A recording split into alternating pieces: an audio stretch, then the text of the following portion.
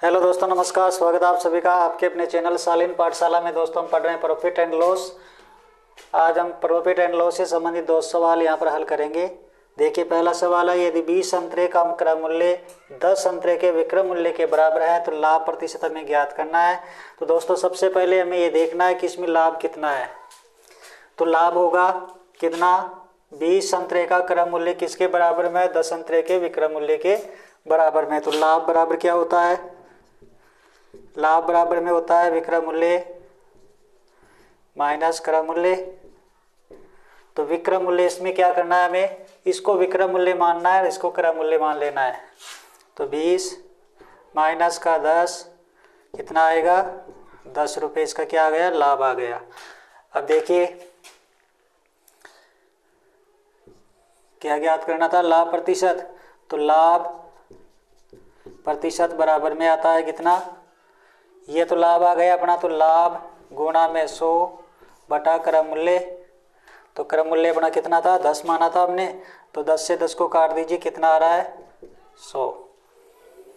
ये इसका लाभ प्रतिशत है। दूसरा सवाल देखिए। दूसरा सवाल है, किसी वस्तु को दस प्रतिशत आने पर बेचने से एक सौ अस्सी रुपये में मिलते हैं तो वस्तु का क्रम मूल्य में ज्ञात करना है।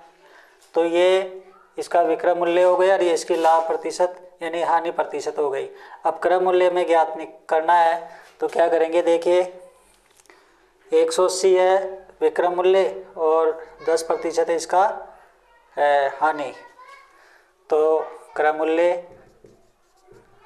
बराबर में आता है विक्रय मूल्य गुणा में सौ बटा सौ माइनस हानि। ये सूत्र लगेगा।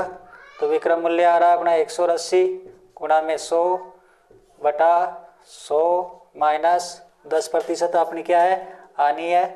तो देखिए, एक सौ अस्सी गुणा में सौ बटा में कितना आया? सौ में से दस गए तो निब्बा। निब्बा से इसको काटेंगे, दो बार कटेगा और दो गुणा सौ करेंगे तो दोस्तों आएगा दो सौ। दो सौ क्या है इसका? क्रम मूल्य आ रहा है।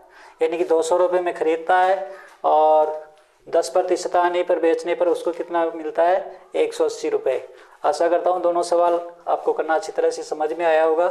थैंक यू मिलते हैं नेक्स्ट वीडियो में।